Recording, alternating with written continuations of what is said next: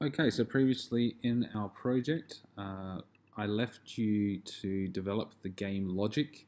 Uh, so this is now an extension part. You don't need to do this. Um, classes haven't yet been covered in my course, or if you're going on your own, it's just a way to improve uh, the structure of it of your uh, project, and hopefully to make some reusable classes that you could use for other projects. So if you were to make, uh, for example, a poker, poker game, uh, it'd be a lot easier if we had some data structures set up. So the first thing I'm going to do is to create a new file. File, new file, not project, a file. Okay, I'm going to select a Swift file.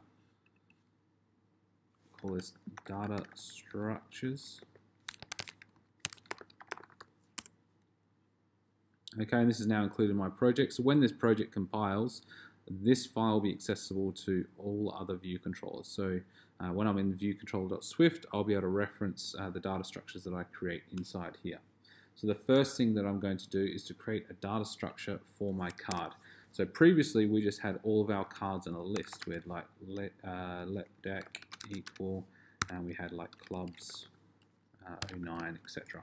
Um, as a string. So it wasn't the best way to do it, and the reason we're doing that so we could access those images which I put in there uh, but I'll show you how we're going to solve that. So I'm going to create a new class.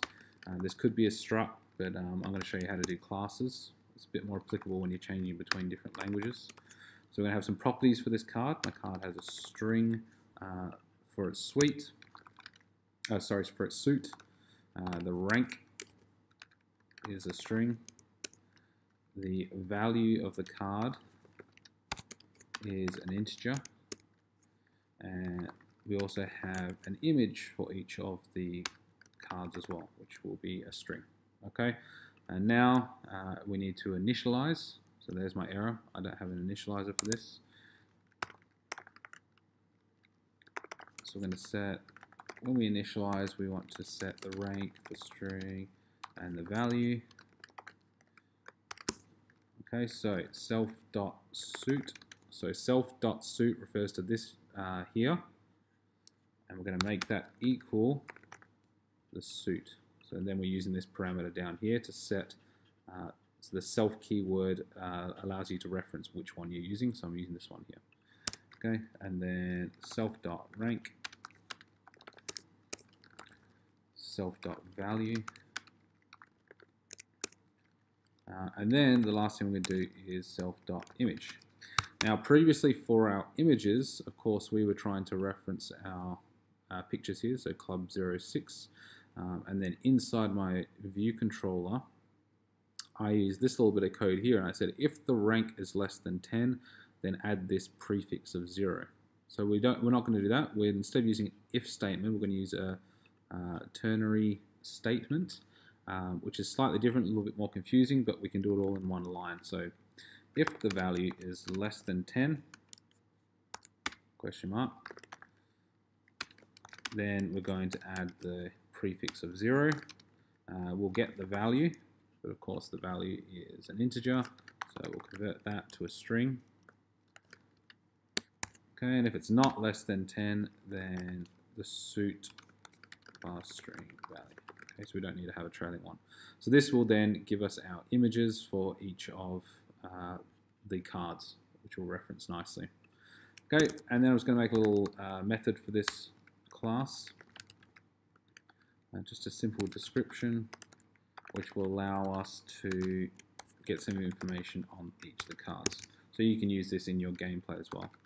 So this is just going to return the rank, oops, spell rank right, of suit has a value of value. Okay, so this will, for example, say uh, the king of diamonds has a value of 13. Okay, so just a, a little bit of um, uh, showing you know what, what card we actually have. So if I was to create a new card for this, I would say let new card equal card. And then my initializer comes up. I need to set my suit, diamonds, rank, king, value 13. Okay, so that's how I would set my card. All right, but we want to do this a little bit more dynamically, so we want to have a deck uh, class as well. So class deck. Uh, we're going to have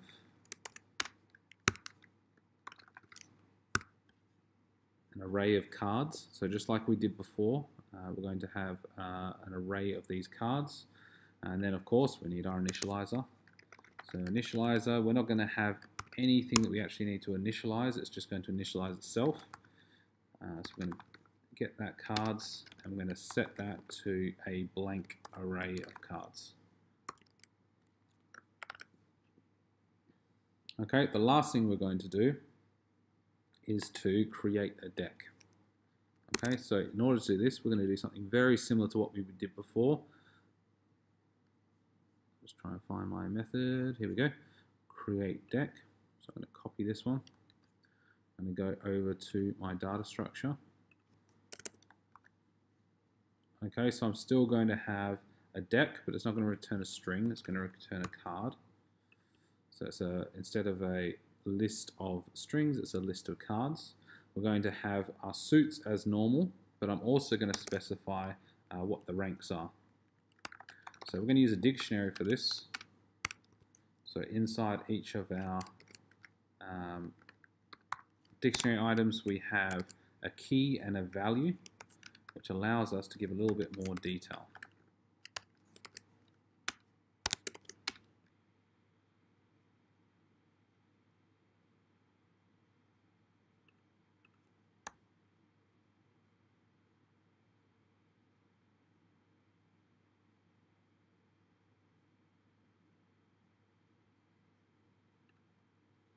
Okay, so now I have all my ranks. I'm going to declare a blank deck. And again, it's going to be a deck of cards. And then I can say for suit in suits, for rank in ranks. Okay, and I'll say let new card equal card, just like I showed you before. And this will have suit, rank, and a and a value. So I can say my suit, I can say my rank dot key. So my rank will come from the first item, and my value is rank dot value. And then I can get my blank deck and append my new card. Okay, and that will return my blank deck. So now I have my new deck. Okay, so if I was to use this, I could say, let's get rid of that trailing thing there. I could say var my deck equals deck dot create deck. Okay, but at the moment it's going to ask me to initialize. So what I can use is this keyword static, and then it won't rely on the initialization.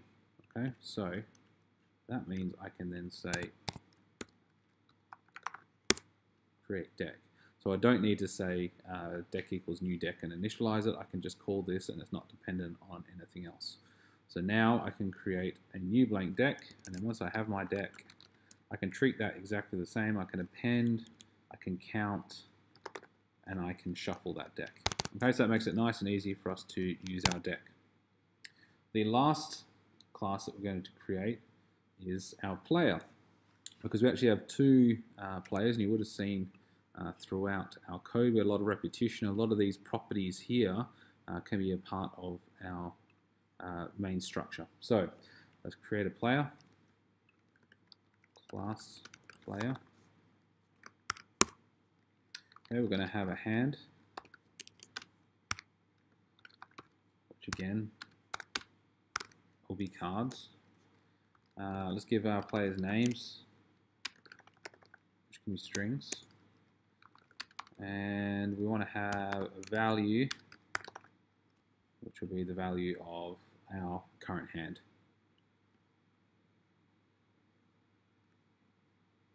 Okay, and again, I don't have an initializer, so let's do that. Initialize. Uh, all I'm going to set for this is uh, the name. Everything else we should be able to work out. So self.name equals name. self dot value equals zero. So we'll start that off as zero.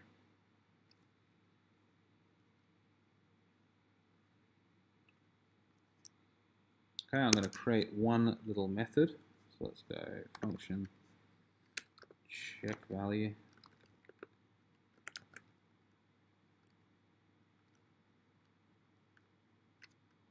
And we're going to have this return uh, an integer.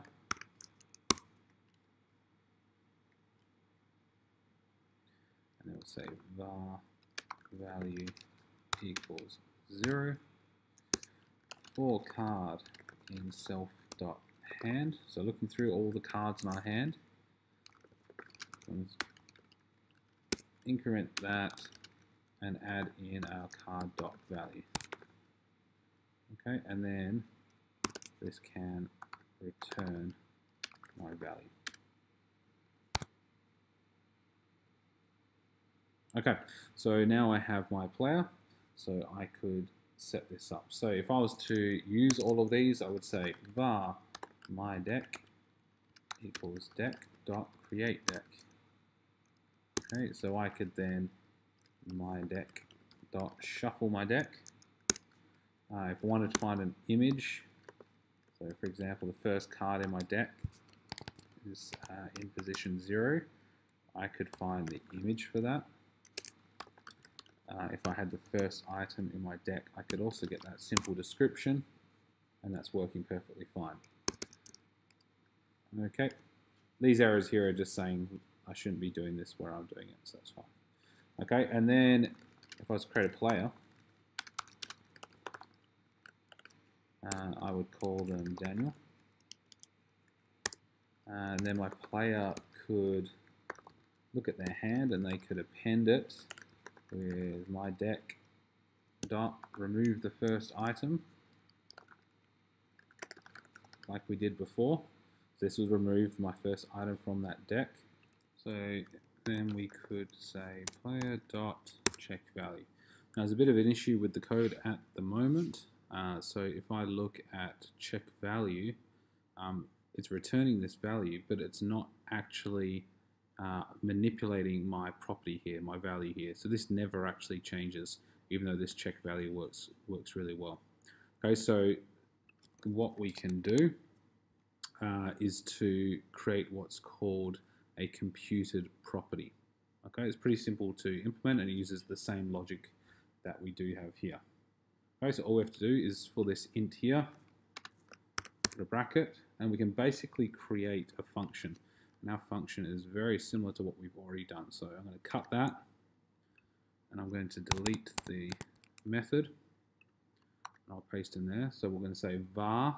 I'm not going to use the word value because we're using value for this here. So I'm going to say new, oops, new value uh, for card in self.hand new value equals new value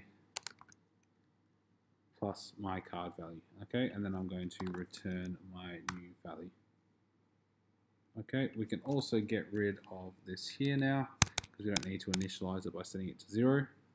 So now to get my uh, to check my current uh, value of my hand, I can just say oops print player dot value. Okay, and that will give us the same thing as doing that check value. All right, so I'm going to delete these for now. So these are all telling me I can't do this in this top level because this all needs to be integrated into your app. So this is the next thing you need to do. Um, we need to remove this uh, create deck and we need to integrate our new data structure inside the view load. So the first thing we need to do when you create, so I'll get you started, but I'm going to leave this up to you, is to create your new deck, and then from there, you're going to create your new player.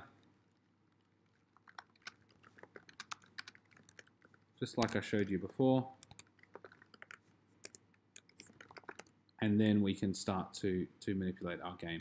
So it's up to you now to uh, integrate our data structure into there for your extension.